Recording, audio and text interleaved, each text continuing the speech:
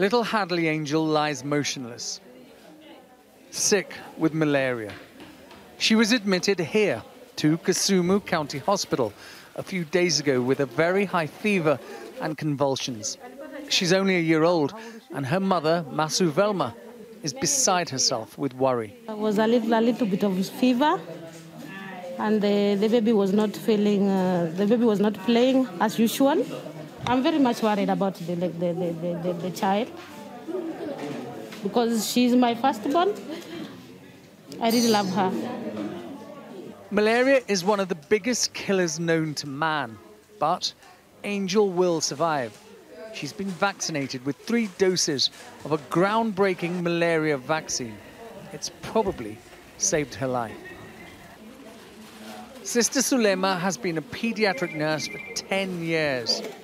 She's lost count of the number of children who have died of malaria. But the vaccine, she tells me, is saving lives.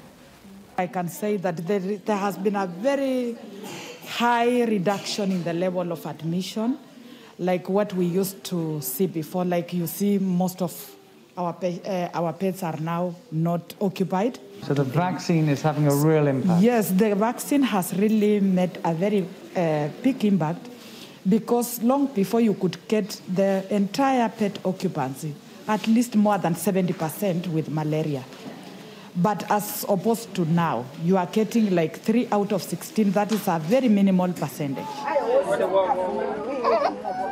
The World Health Organization has been trialing GSK's RTS-S vaccine in sub-Saharan Africa, countries like Kenya, Ghana and Malawi.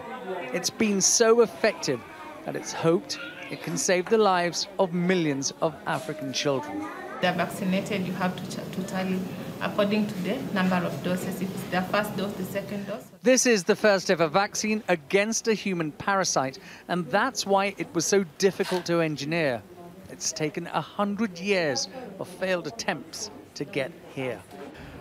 This is Africa's great hope. Finally, a malaria vaccine that could break this vicious cycle of death, disease, and poverty. And this is the ideal breeding place for for malaria. mosquitoes. Yeah, I think that, and that's why they're trying to uh, evacuate it. That, that was a, a pipe leak. Uh-huh. Yeah, so that pipe leak is a, it's also one of the breeding area for malaria. Tumekuja kukutembelea kidogo. Malaria hits the poorest the most, and especially the children from those communities. Home visits like this one track the spread and identify babies who might be mm-hmm. infected. But African children can now look forward to a future free from the scourge of malaria. George is ready to go home after his battle with the disease. This vaccine means he might never have to come back with malaria again. Ashish Joshi, Sky News in Kisumu in Kenya.